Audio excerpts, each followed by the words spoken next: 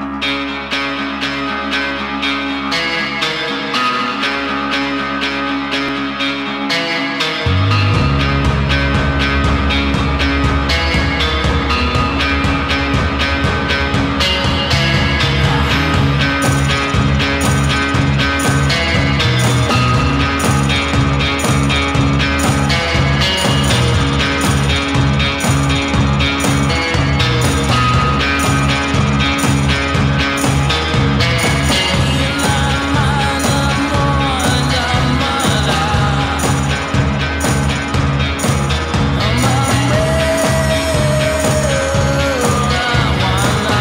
I know like real car guys today, they don't give a fuck about bands or style or any of that shit.